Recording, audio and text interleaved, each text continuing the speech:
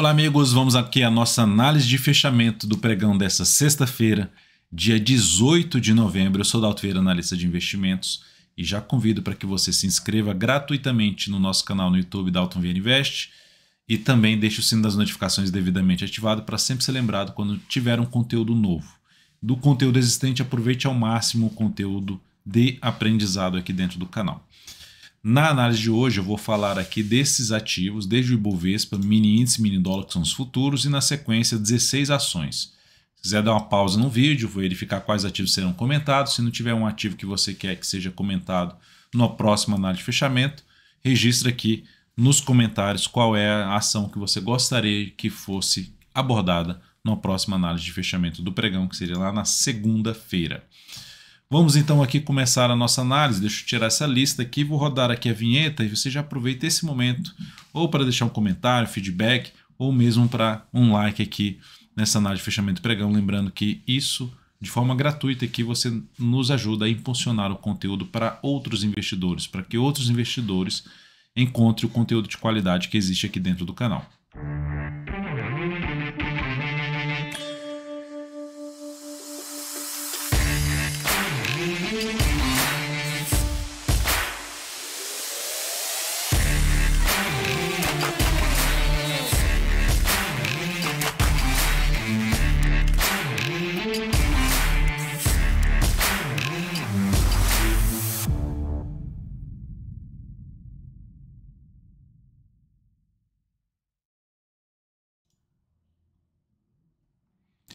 Então vamos lá.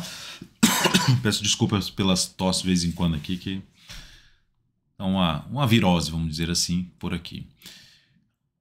Se você já deixou o like ali, antes assistiu a introdução, deixou seu like, agradeço demais. Se você ainda não deixou, deixa agora.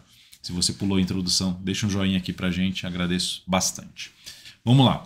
Ibovespa, terceiro pregão consecutivo de baixa, gerou a superação da máxima do que no anterior. Lembrando, o Ibov está dentro de uma tendência de baixa que já venho comentando isso. Então, se ele está dentro da tendência de baixa, fica uma expectativa maior de ter algo mais para baixo. Por enquanto, o Ibov não está conseguindo gerar força aqui para cima. O que, que a gente precisa monitorar para ver se vai mudar essa força aí de, dos vendedores nesse momento, esse domínio maior no curto prazo dos vendedores? É a gente observar que o Ibovespa, se ele consegue voltar para cima desses fundos anteriores e também dessa região aqui que foi topo, já tem a média aqui no 112 481, enfim, 112 mil a 113 mil pontos. Veio para cima dessa faixa e sim a gente tem um cenário mais de possível retomada de uma tendência de alta de curto prazo. Mas por enquanto, seguimos apontando mais para baixo. E olhando para o fechamento da semana, ó, fechou ali com queda de 3%.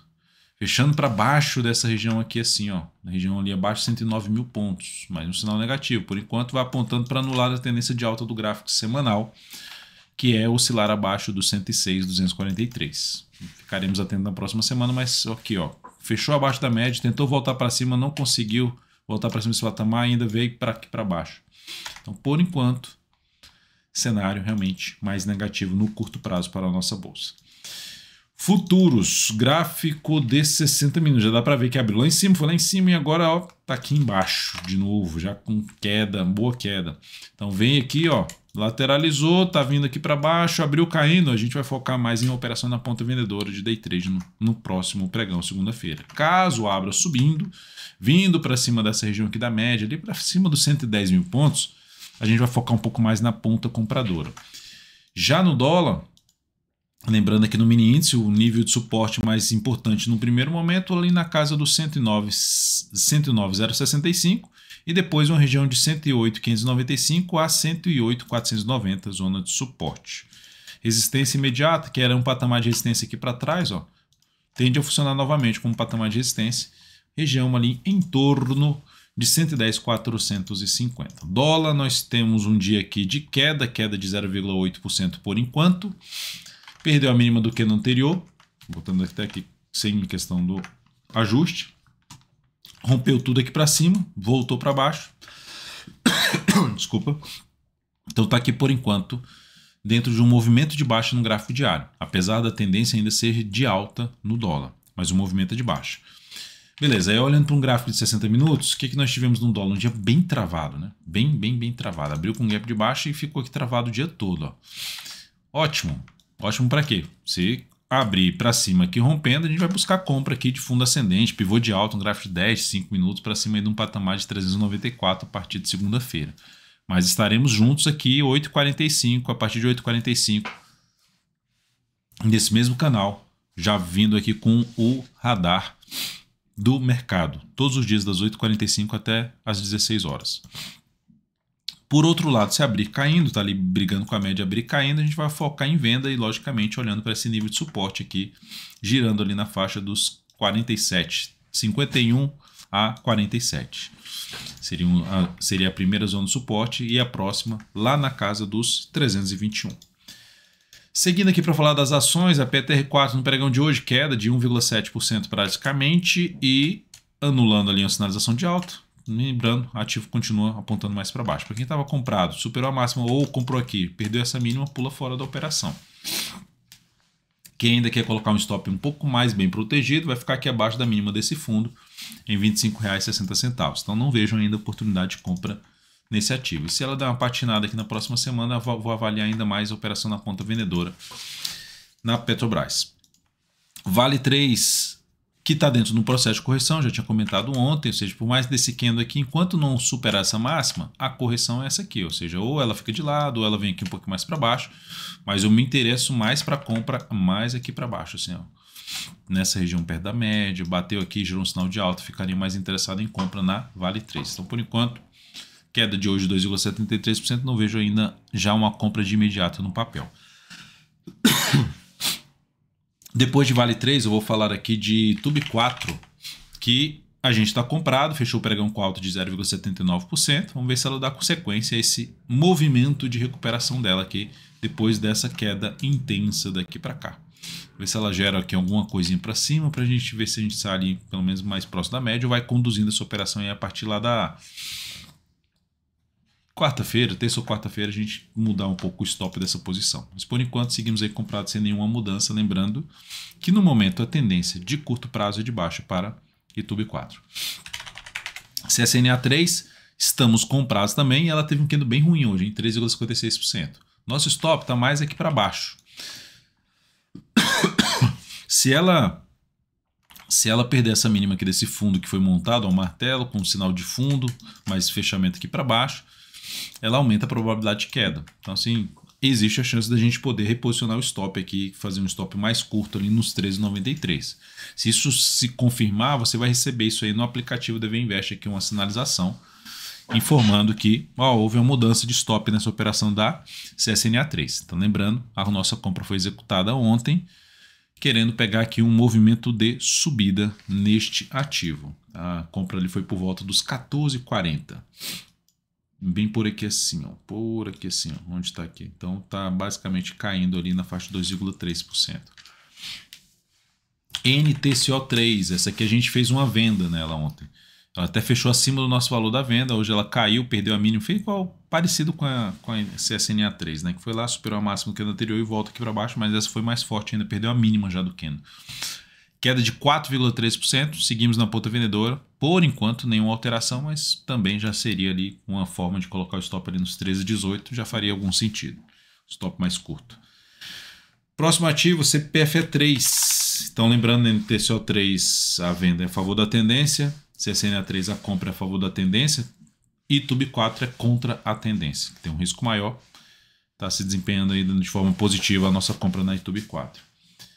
Todas as informações das operações está tudo dentro do aplicativo DVInvest, app.dvinvest.com.br. E você pode também acessar pelo seu celular. Recomendação de venda hoje em CPF3. Ativo veio, subiu aqui, primeiro foi lá em cima, aí vem, cai, vem aqui, bate, fura aqui essa região. E agora ela vai fazendo isso aqui, ó, um processo meio de correção respeitando a linha média. Bateu de novo na média, enfim, vou fazendo uma venda aqui, botando stop aqui mais aqui para cima e tentando pegar a continuidade do movimento de baixo. Vamos ver se isso surte efeito. A expectativa é olhando para o gráfico semanal que essa ação possa ceder aqui para essa região de fundos anteriores. Próximo ativo a ser ah, para comentar, depois de CPF3, lembrando todos os detalhes dessa entrada, o preço de entrada, o stop da operação, o objetivo, risco dela, qual percentual de risco, quantos por cento do seu capital alocar nessa operação está dentro lá do aplicativo. Azul 4. Azul 4. Temos uma ação que está dentro de uma tendência de baixa, que também está parecida até com a, um pouco da CPFE3 aqui enrolada. Se, se ela fizer algo, algo aqui um pouquinho mais para cima, eu até animaria de fazer essa venda aqui um pouco mais no papel. Ou seja, a tendência de baixa, não estaria interessado em comprar nesse ativo. Se tivesse comprado de alguma forma, colocaria stop pelo menos abaixo daqui dessa região de fundo, dois fundos aqui na faixa dos R$ 12,09. Então, lembrando, ativo dentro da tendência de baixa, enquanto não gerar algo significativo para cima aqui pelo gráfico semanal, romper aqui forte os 1402, por exemplo, segue apontando mais para chegar aqui nessa zona de suporte do gráfico semanal, que está localizado ali nos R$ 11,00 60 até a mínima ali na faixa de uns R$ 11,06. Ipera, IP3, a ação entrou dentro da tendência de baixo no gráfico diário, está dentro da tendência de baixa. Perdeu aqui a região de fundo anterior, tentou hoje voltar para cima desses fundos anteriores, não conseguiu. Inclusive esse fundo também, ó. São três fundos anteriores, não conseguiu. Enfim, gráfico semanal fechou a semana para baixo da média e vai aumentando a chance de ter algo mais para baixo. Se ficar aqui também enrolado e gerar algum sinal de baixo, me interessaria um pouco mais por venda de swing trade nesta ação. Sabesp SBSP3 também dentro da tendência de baixa, ó. Pivôzinho de baixa, mas por enquanto sem tanta força, vai respeitando aqui em fechamento essa região dos 55 reais, fechou acima dos 55, mas por enquanto a tendência de baixo está aqui, ó. Então, até que não gere algo assim forte para cima, vai aumentar a chance de poder escorregar para esse fechamento desse gap aqui, que tem um espaço ali de uma queda de 9%. Por enquanto está em cima da num topo anterior e média móvel lá no gráfico semanal. Vamos ver se ela consegue gerar aqui um fundo ascendente ali no, no, no gráfico semanal nas próximas semanas. Não vejo ainda compra nessa ação pelo cenário gráfico que nós temos aqui no gráfico semanal, desculpe, no gráfico diário, semanal ainda dentro do movimento de baixa, sem nenhum sinal ainda de subida, a não ser a, não ser a questão de já ter batido ali na zona de suporte.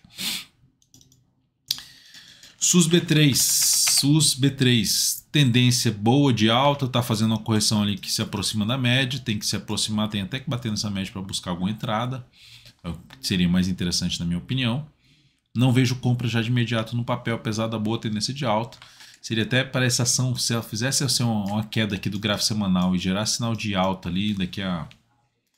Já no mês de dezembro, bem interessante para compra pensando no prazo maior SUS B3. Bem interessante nesse momento, no sentido de fazer uma correção, avaliar essa correção para buscar um ponto de entrada. Mas o cenário é mais favorável para buscar uma compra de prazo maior, até mesmo de curto prazo, em cima dessa ação. JBSS3, esse aqui é o contrário, né? É, depois de um grande queno de alta, olha o que ela fez. Olha o que ela fez, olha o que ele fez. Fala, olha o que ele fez, a Copa do Mundo tá chegando aí, hein? Copa do Mundo tá chegando aí. E aí, qual é o seu palpite? Quem vai ganhar essa Copa do Mundo? Brasil? Quem que você acha que vai levar a Copa do Mundo? Escreve aí pra gente. Bota aí nos comentários. Então aqui, ó, JBS anulou completamente o queno já de alta anterior, já perdeu esses fundos anteriores. Enfim, se alguém já abriu venda aqui nesse rompimento, stop aqui em cima dessa máxima, tenta pegar pelo menos uma vez e meio o tamanho desse candle. Vou aguardar mais uns pregões aqui para ver se ela gera alguma, alguma entrada com stop um pouquinho mais curto. Mas a ideia é buscar a operação na ponta vendedora de swing trade em cima de JBSS3. Olhando até para um gráfico mensal desse ativo, afundando, afundando, já anulou a formação de um fundo no gráfico mensal, então, ó, Expectativa de caminhar lá para a região dos 20 e 30, hein? Expectativa. Vamos ver se, enfim, nesse caminho dela, se for lá nos 20 e 30, se ela gera algumas oportunidades de venda de swing trade. BIF 3 mensal também enrolado aqui, é, do, do setor é melhor, né? Falam comparando compara nesse momento BIF 3 é melhor, comparando com Marfrig, com JBS, BIF 3 é melhor. Tá se, mensal se sustentando em cima da média, gráfico diário é que anulou a tendência de alta. Ó. Anulou completamente. Qual a expectativa então? Para baixo. Olha o semanal. Topaço lá descendente. Então fica com expectativa de poder de novo testar essa região ali do, em torno dos 12,20. Então se ela chegar aqui, ó, tentar subir aqui na semana que vem, gerar um topinho, estou interessado em venda de swing trade em cima de BIF 3.